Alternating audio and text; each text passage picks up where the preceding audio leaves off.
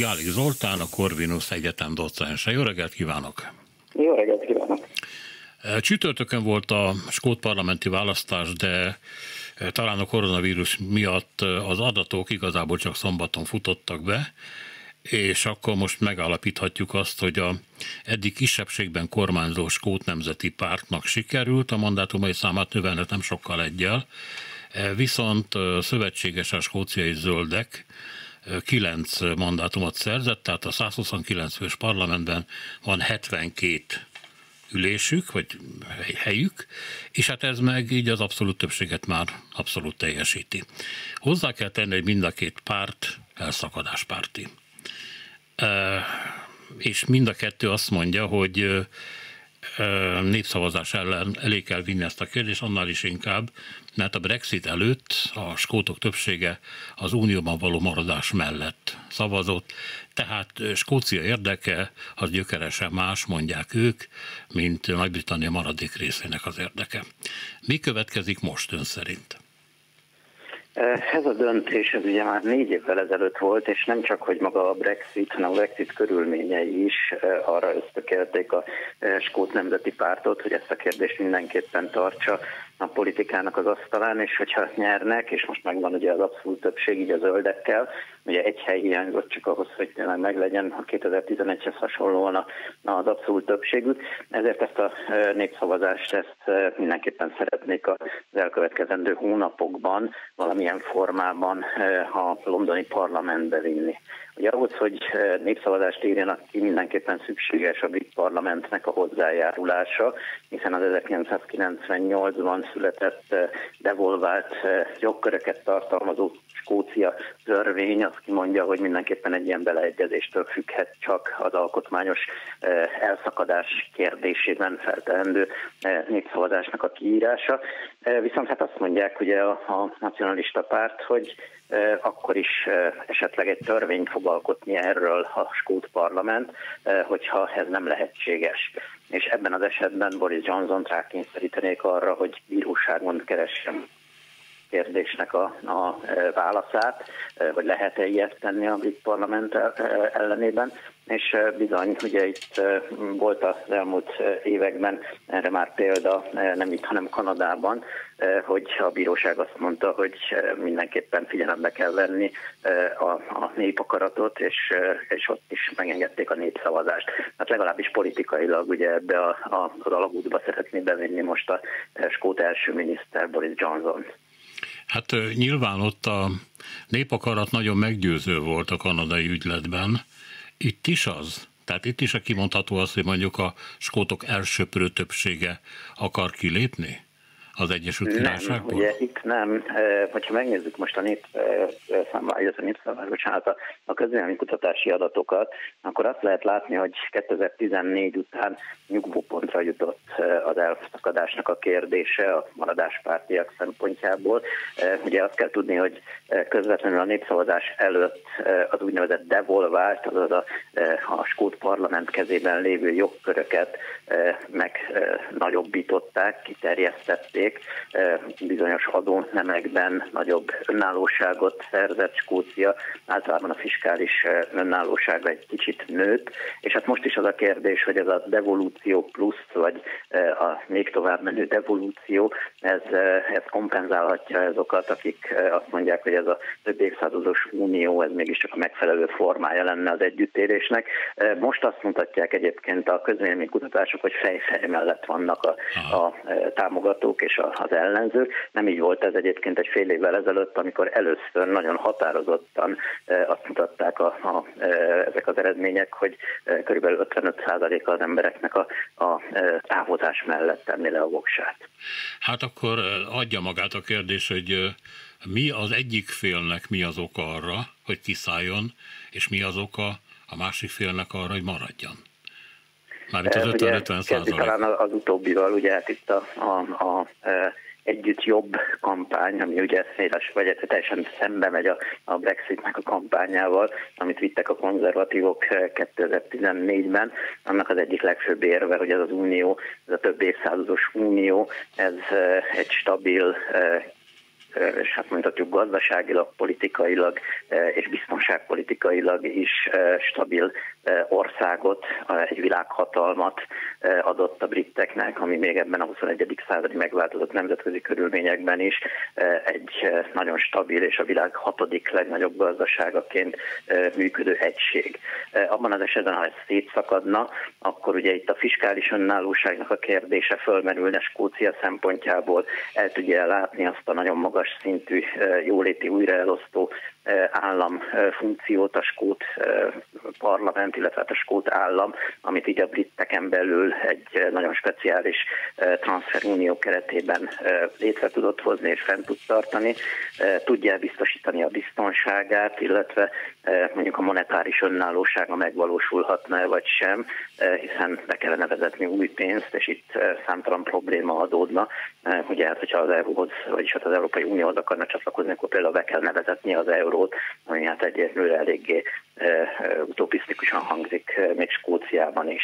A másik oldalról pedig hát a függetlenséget támogatók azt mondják, hogy ezzel tetőzhetne az a folyamat, ami az utóbbi húsz évben nagyon felgyorsult, hiszen látjuk, hogy az embereknek a többsége függetlenségpárti képviselőt választott, és Skócia igenis jogosult lenne az önállóságra. Egy egészen más típusú politikai rendszer működik most, csak a választásokra gondolunk, ugye a briteknél, a többi részen az országban és Angliában persze főleg az általános választásokon többségi választás van, náluk arányos választási rendszer, a gazdaság az részben a szolgáltatásokból, részben pedig a olaj, illetve ott az környéken földgázjövedelemből fönn tudná tartani magát. Persze hát ennek is vannak ellen súlyai, hiszen azért nem olyan biztosak ezek a jövedelmek, és egyre inkább perifériára szorulnak, de mindenképpen azt mondják, hogy a szolgáltatási szektor azt tudná kompenzálni ezeket a kiadásokat, és ezt egy fiskális önállóságot meg lehetne valósítani. Hát, hogyha messzebb mennénk még ugye ebben a kérdésben, akkor itt rögtön felmerülne az államadóságnak a kérdése, amit meg kellene osztani az Egyesült Királyságon belül, illetve hát véget érni a transferunió, ami azt jelenteni, hogy többet nem jönne az Egyesült Királyság felől 1979 óta van egyébként egy ilyen rendszer bevezetve, az a sok transfer, ami az adókat jelenleg még helyettesíti az adóbeszedést. Hát nem tudom, ott van Írország példája. Ugye Írország egy nagyon szegény ország volt, amelyik a 80-as, 90-es években hirtelen kilőtt, azt mondom, hogy akkor kezdték ilyen keltak istigrisnek hívni, de mindegy, ezek ilyen zsurnalizmusok, nem az érdekes, de elég gazdag ország lett, egy ilyen, egy ilyen fogyasztómániába süllyedt el néhány évre. Egyszerűen azért, mert benne volt az Unióban, mert angol nyelvű ország és kiváló kiváló kapcsolatokat tudott építeni más angol országokkal, és hát sok skót azt gondolja, hogy ezt meg tudta csinálni Írország, akkor ők is meg tudják. Vannak ők is olyan szegények, mint Írország volt valamikor. Igen, Írország ugye egy speciális eset, hiszen az Európai Unió tagja 1973-ban lett, és az Unió szegény rokona volt, vagy a szegény perifériája, és valóban a 90-es éveknek a végére az egyfőre jutó GDP vásárlóparitáson mérve magasabb volt már, mint az Egyesült Királyságban.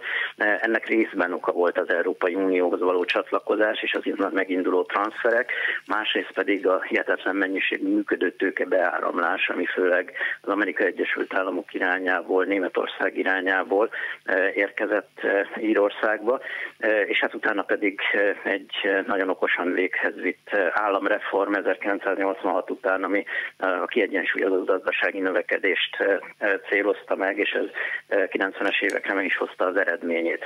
Skóciában mások a feltételek, ugye ott olyan mértékű működőtőke beáramlásra most nem lehetne számítani, mint amire Írország akkor számított, és egyébként a 2014 2014-es válság után ugye ez nagyon gyorsan segítette a talpraállásban Írországot. Minden esetre Skócia is azt mondja, hogy az európai piacok azok kulcsfontosságúak lennének számára. Persze az ellenzőknek az érve pedig az, hogy ez viszont mindenképpen gátolná, lássuk most ugye az Észak-Ír és az Egyesült Királyság közötti problémákat, illetve Nagy-Britannia közötti határproblémákat, gátolná az egységes utazási övezetet, az egységes kereskedelmi térséget, és hát ugyanolyan problémák lennének, mint amiket látunk most. Mindig csak arról beszélünk, hogy mi lenne Skóciával, ha így vagy úgy fordulna a dolog, de mi lenne a maradék Nagy-Britanniával? Tehát mi lenne Angliával mondjuk?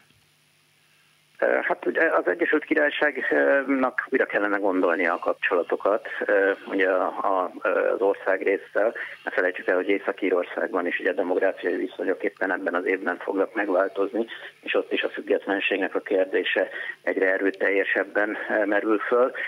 De hát láttuk itt a Brexit alatt, hogy ugye az a struktúra, az az alkotmányos berendezkedés, ami évszázadokig működött, és bár hanyatlott az Egyesült Királyságnak a világpozíciója, hanyatlott a hegemóniája a 20. század kezdetétől, és hát a második világháború után ugye egy egészen más pályára került a birodalomnak a szétesésével, a, a gazdasági rendszereknek, a rendszereknek a megváltozásával. A Brexit alatt ugye ez egészen nyilvánvalóvá lett, hogy a politikai rendszer is nagyon nehezen tartható, és nagyon nehezen működik ebben a formában tovább.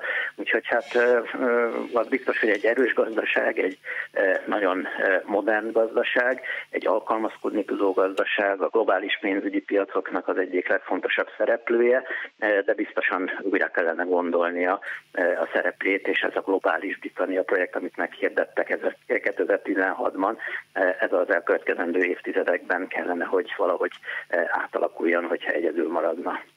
Hát egy kicsi ország lenne egy ilyen közép-közép hatalom, bár sokan mondják már tulajdonképpen az, csak még hiányzik hozzá ennek a tudomásul vétele. Igen, hát ők maguk mondták ki, ugye 1967-ben, ha jól emlékszem, hogy akkor hirdették meg az úgynevezett East of Suez politikai beszédében, hogy az van az új biztonságpolitikai prioritásokat, és akkor maguk mondták ki, hogy regionális középhatalom már süllyedtek. Ugye ez nem jelenti azt, hogy ne lennének erős regionális középhatalom, hiszen ugye nemzetközi pénzügyi piaci beállítottsága, a világgazdasági súlya, mind a termelő szektorokban, mint pedig a, a szolgáltatási szektorokban nagyon erőteljes. Egy új és ez hosszú távon alakulhat ki szabályozási rezsimnek a bevezetésével, vagy a versenyelőnyöket alakíthat ki magának, amivel egy nagyon versenyképes gazdaságot tud működtetni Európának a perifériáján. Viszont hát ugye ez a koronavírus válság az utóbbi évszázadoknak az egyik legsúlyosabb válsága volt, több mint 10%-kal teljesítmény, és még ha most nagyon gyorsan, akár 7%-ot is növekedhet ez, a Brexit-tel párosítva évtizedekig azért visszavetheti a relatív gazdasági fejlődését az országnak az európai hatalmakhoz képest. Észak-Írország, Skócia, de mi van Velszel? Velszel soha nem hallani azt, hogy el akar szakadni, soha nem hallani azt, hogy, hogy angol ellenes érzelmei lennének, miközben ugye az ember megnézi a a régi skót, bocsánat, a régi velszi irodalmat, tehát akkor tele van azzal, hogy hogyan rabolták el az angolok az anyanyelvünket, hogy hogyan tették tönkre az angol földbirtokosok a sorompó rendszerrel mondjuk a parasztjainkat, és így tovább, és így tovább. De Cardiffból nem jönnek negatív jelek. Mi ennek az oka? Felerősödtek egy kicsit a hangok, de valóban ugye most a, választásokon a munkáspárt az megtartotta azokat a képviselői helyeket a, a Nevelsz Nemzetgyűlésben, amik korábban az övék voltak. Az ottani nacionalista párt, a Plaid Cymru nem tud hátütő sikereket elérni. Ez nagyon szembetűnő a többi ország része szemben. De ha visszatekintünk, hogy a 90-es évekre, amikor megindult az evolúció, akkor lehetett ezt látni, hogy ezek az igények sem olyan erőteljesek, hiszen Velzben inkább egy kulturális autonómia van a parlamentnek a, a, az igazgatási részének legalábbis a kezében, míg Skóciában ugye ez sokkal-sokkal messzebb politikai, gazdasági téren is kiterjedtebb.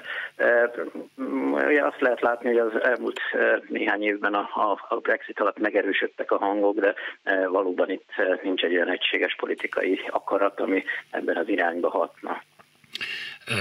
Mennyiben tehet, hát persze a Brexit az egy nagyon súlyos tehertétel, a legsúlyosabb, és önmagában is mindent magyarázna. De emögött, e, e vagy e fölött még Boris Johnson kormányának és magának a kormányfőnek van-e felelősség abban, hogy az ország a, a szétesettség ennyi jelét mutatja.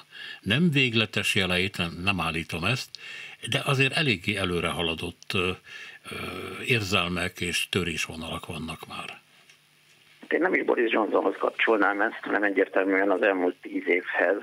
Ugye 2010 től kezdődtek meg a akkor egyébként konzervatív és liberális demokrata koalíciós kormányzás alatt eh, az Európa politikát ennyire a középpontba helyező eh, politikai napirendformálás, ez az Európai Uniós törvénytől, amiben népszavazást hoztak be az európai kérdésekbe, a döntéshozatalba, eh, vagy például az Európai Unióval történt tárgyalások arról, hogy milyen kivételeket kapjon az Egyesült Királyság, akkor kezdődött el ugye a UKIP-nak, a függetlenségpártnak a szárnyalása, a konzervatív pártnak az átformálódása és a radikalizálódása, e, és hát ez a folyamat vezetett oda, hogy ez a Brexit e, végül is létrejött, és ez vezetett oda, hogy e, egy borzasztó szabályozatlan körülmények között gyakorlatilag szétverve az alkotmányos kereteket vitték véghez ezt a folyamatot. Hát ugye már kezd fakulni az ismeretünk vagy az emlékünk, de, de ugye emlékszünk rá, hogy Theresa Maynek nem volt többsége a parlamentben, és majdnem az egész folyamat megfenek lett, és olyan több évszázados alkotmányos rendszereket léptek át, amelyek, amelyek hát precedens nélküliek voltak a modern Nagy-Britanniának a történetében. Hát ez is mutatja, ugye, hogy az az alkotmányos monarchia, ami évszázadokig a birodalmat működtetni tudta, az az új körülményekhez nagyon nehezen alkalmazkodik. Tony Blair kezdte meg egyébként 1997-ben ennek az átalakítását. Számos jegye van annak, hogy az Egyesült Királyság európaizáló formálódott, ugye a parlamentnek a szerepe megváltozott, a bíróságoknak a szerepe önálló felső bíróság lett, ami az egységes korona a parlamentbe koncepcióból kilépve egy új államszervezetnek az alapjait rakta meg legalábbis a, bírói rendszer, behozta az Európai Emberi Jogi Törvényt a, a brit rendszerbe. Tehát egy egészen új felépítmény indult meg, ami hát ezzel a Brexit-tel egy kicsit gellert kapott, és most valahol ott a légüres térben is áll, de nagyon nagy alkotmányjogászok is azon gondolkodnak, hogy előbb-utóbb szüksége lenne az Egyesült Királyságnak egy egységes írott alkotmányra. Hú, de ez mennyire érinteni mondjuk a, azt, hogy egy, mégiscsak egy monarchiáról van szó. Alkotmányos, de monarchia? Vagy az is kérdés már? Magát a monarchiát ez egy másik kérdés. Nagyon sokan mondják, hogy, hogy az is ropog az az épület is. A királynő halála után, ugye akár a nemzetközösségre gondolunk, már ott 50 évvel ezelőtt, vagy most már 60 évvel ezelőtt eldöntötték, hogy ebben az esetben át fogják gondolni a, a, a, a nemzetközösséghez való tartozást, illetve az államfőségnek a kérdését, ugye Ausztráliától kezdve Kanadán át, a kisebb volt gyarmati területekig, de maga az alkotmányosság és az írott alkotmánynak az igénye az többször fölmerült itt a Brexit folyamán, amikor eh, hát eh, ugye azokat a nem írott eh, törvényeket, vagy szokásjogon alapuló különböző cselekedeteket áthágta Perko, ugye, aki a, a, a, a parlamentnek a, a, az elnöke volt, és ugye többen mondták, hogy milyen jó lett volna, hogyha különböző írott szabályok próbálták volna terelgetni a, a kormányt a, a Brexitnek a, a, a különböző kérdéseiben, de ugyanígy a, a bíróságokkal kapcsolatos döntéshozatalban, vagy akár az új államháztartás, az új állam igazgatás, az új e, Európai Uniós kapcsolatoknak a kérdésében, hát jó lenne azt mondják, hogy írott alkotmányos rendszerben gondolkodni. Még valamit említette, hogy nem revolúció, de evolúció lehetséges. Skócia és a királyság többi része kapcsolatában, főleg Londonnal kapcsolatban. Előfordulhat, hogy Skócia ki tudja zsarolni, hogy valamennyire az egész királyság forduljon egy picit vissza az unió felé? Hát én nagyon nehéz, ugye nagyon nehéz a kérdés, hiszen először is nem mostanról beszélünk, hiszen maga Nicola Sturgeon is azt mondta, hogy ha sikerül keresztül vinni a népszavazást, akkor sem most, hanem amikor lecsenged az egész járványhelyzet, valamikor 2023 környékére látja időszerűnek egy ilyen népszavazásnak a kiírását.